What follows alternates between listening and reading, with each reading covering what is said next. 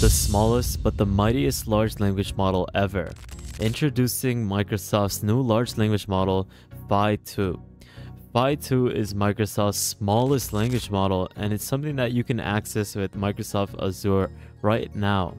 Now with new benchmarks from the company, it shows that it beats Google's Gemini Nano model as well as Mistral's 7 billion parameter model. Just today, they announced this 2.7 billion parameter language model that demonstrates outstanding reasoning as well as language understanding capabilities, and it showcases that it's the state of the art performance is able to be based and compared amongst different types of large language models with less than 13 billion parameters. On complex benchmarks, Phi 2 is able to match or outperform models up to 25 times larger. Thanks to this new innovation in model scaling as well as in training data curation, we're able to see the performance of its efficiency as well as its effectiveness. For example, let's take a look at the test that was conducted on Phi 2, similar to the one that was performed on Gemini. Both of these models were presented with the student's incorrect answer, which is something that you can see over here. And the goal of this is to basically assess whether the models are able to pinpoint the error. And we can see in this case, it's able to successfully identify the mistake with 2, even though it was not specifically fine-tuned for a task that was related to conversations or following such instructions.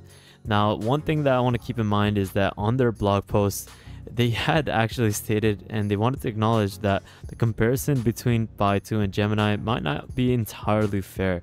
And the context basically differs because of the test that Gemini was given. And that test was where the student's answer was provided as an image with handwritten text while this test that was conducted with Phi 2 was a response that was presented in raw text only.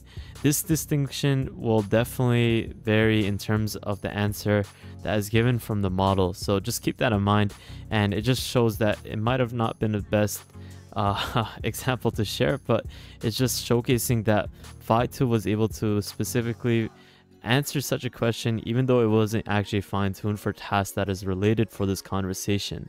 But in general, it showcases that this small parameter size model is able to do so much and the development that it took was very effective and it shows that it's an efficient model that anyone can use even on a mobile.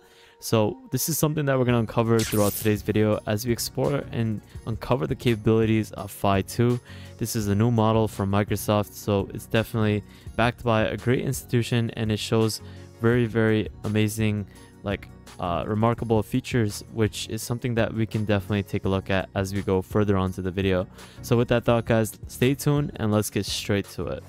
If you would like to access our private Discord where you can access subscriptions to AI tools for free, get networking opportunities, collaboration, daily AI news, you have various different AI topics being discussed on the Discord, as well as a lot of support, definitely take a look at the Patreon link in the description below.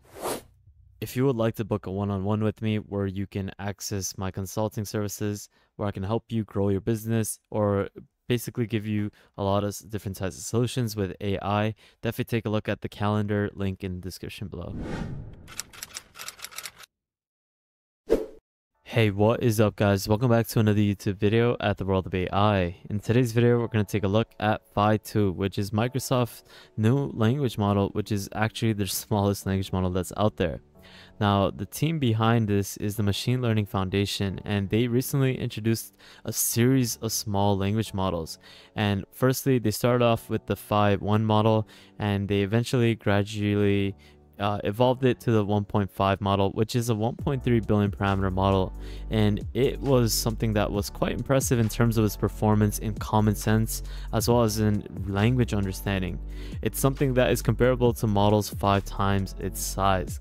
And now we see that they have released this new model which is Phi 2 which is a 2.7 billion parameter large language model it showcases outstanding reasoning and language understanding capabilities Phi 2 performs exceptionally well on complex benchmarks, matching or even outperforming models up to 25 times larger.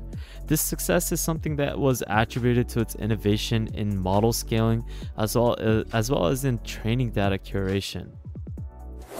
The researchers behind Phi 2 were actually exploring whether they can achieve advanced language model abilities on a smaller scale. And this was behind the process of developing such a model. And this was when they were actually releasing their earlier models. They were looking at making strategic choices during the training process where they wanted to select specific data to make it so that it can replicate a larger model.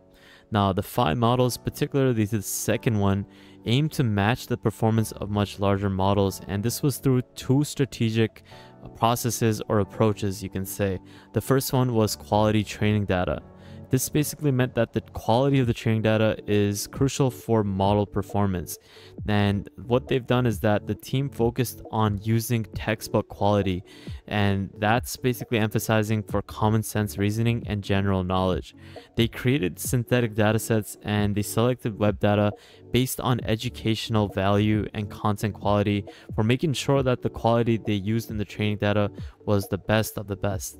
Secondly, they worked on innovative scaling techniques, and this is where the team used innovative techniques to scale up their Phi 2 model from their 1.3 billion parameter model from their original model actually, which is the Phi 1.5. Now, they transferred the knowledge from that model to the new one, and this was by accelerating training and significantly boosting the benchmark scores from this whole innovative scaling technique.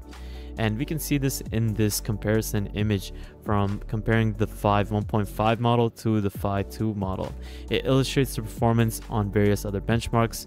The scale from 1.3 billion parameters all the way to the new 2.7 it shows that the performance was able to increase as well as the effectiveness of different types of categories from reasoning to language understanding as well as math and coding.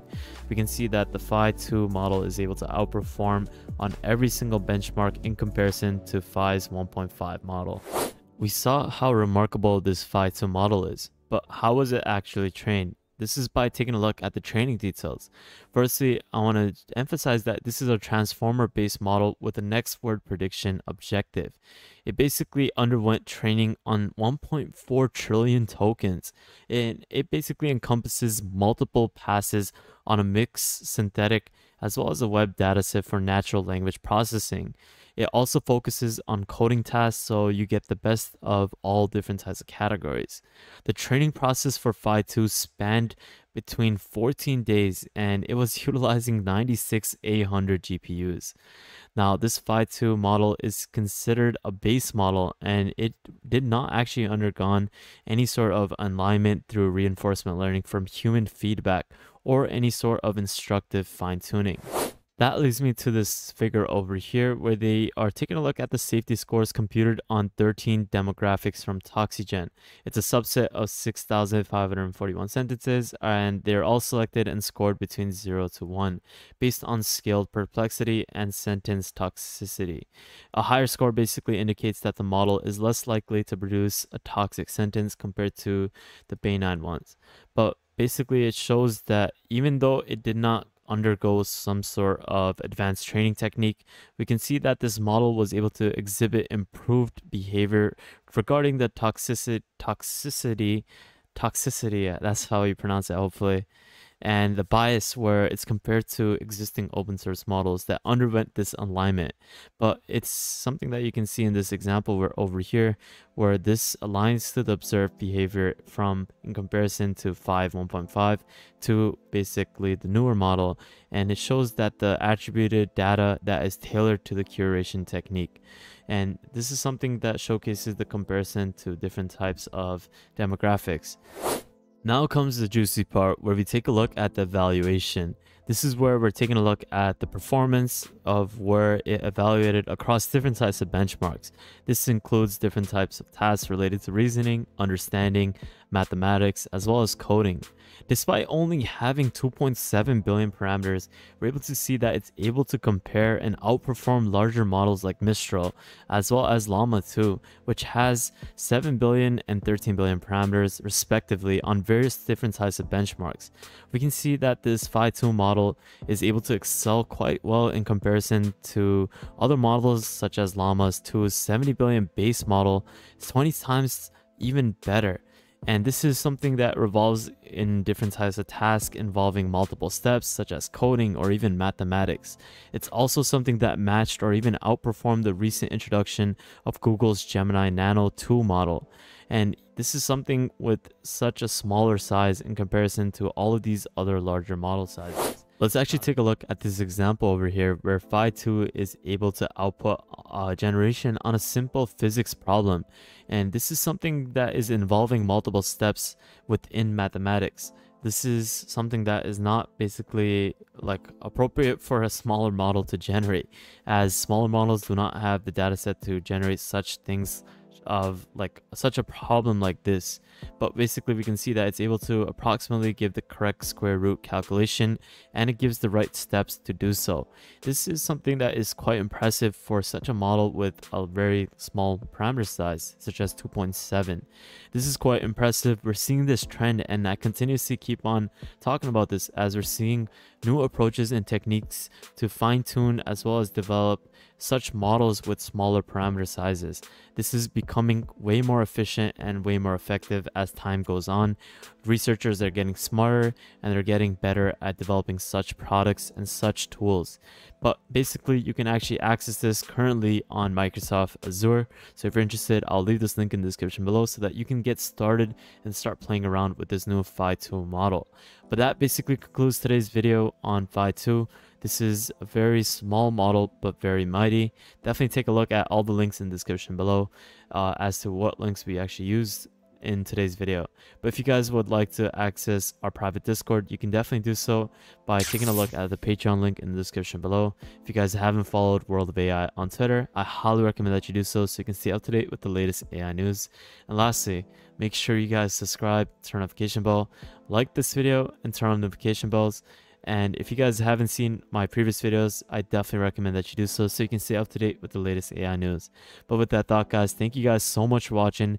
Have an amazing day, spread positivity, and I'll see you guys fairly shortly. Peace out, fellas.